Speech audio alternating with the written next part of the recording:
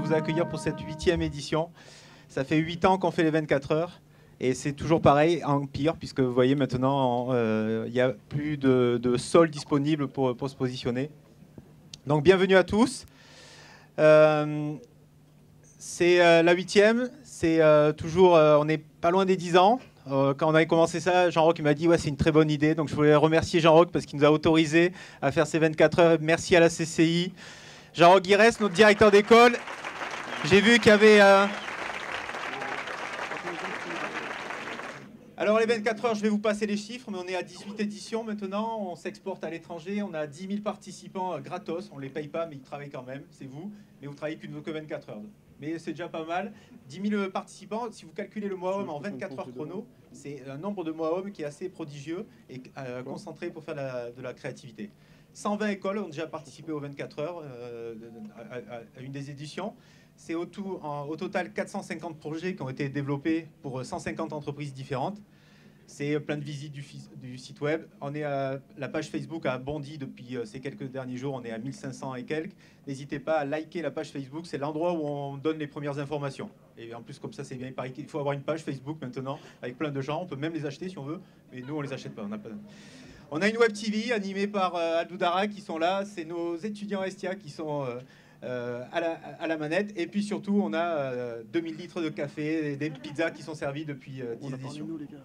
Et ben, je, je vais vous présenter le parrain de cette saison 8. Et euh, ben, il est pas loin, il est même ici avec nous. C'est euh, Fred. Bon, moi, ce que je voulais dire sur, euh, sur l'innovation, c'est que quand je me lève le matin, j'ai envie d'innover. Quand je me couche le soir, j'espère que mon rêve euh, va me permettre d'innover le lendemain matin. En fait, c'est un mouvement perpétuel, l'innovation. L'innovation, ça, commence euh, lorsqu'on s'assied sur une table, on se dit, tiens, comment je peux la modifier, et ainsi de suite, ou, euh, la fonction d'une personne qui va lever quelque chose, etc. Donc, moi, j'ai commencé l'innovation en transposant les éléments, c'est-à-dire l'eau et le vent parce que je savais faire que ça. Je suis brasseur d'air professionnel, je brasse de l'air. C'est ce que me dit ma mère depuis très longtemps.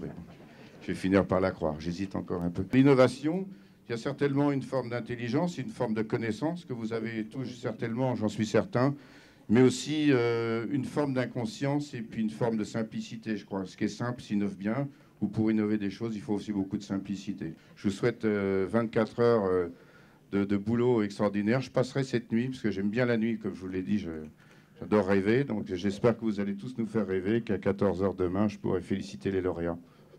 Bienvenue à cette belle édition d'innovation. Merci beaucoup. Alors, on va lancer le décompte. Euh, donc, euh, ben, comme ça, au moins, c'est parti. Attention, vous êtes prêts avec nous? 5, 4, 3, 2, 1, go Allez, c'est parti. Donc maintenant, on va voir plus que. Merci. Et vous pouvez remercier Fred